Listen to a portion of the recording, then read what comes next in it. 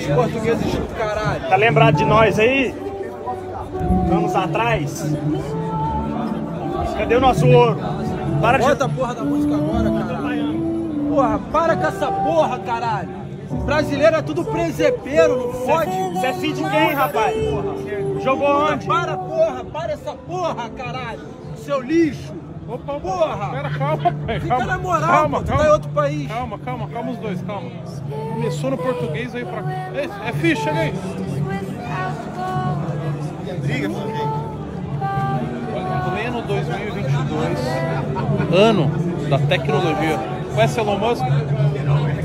Conhece? O que, que ele tá fabricando? Botões. O quê?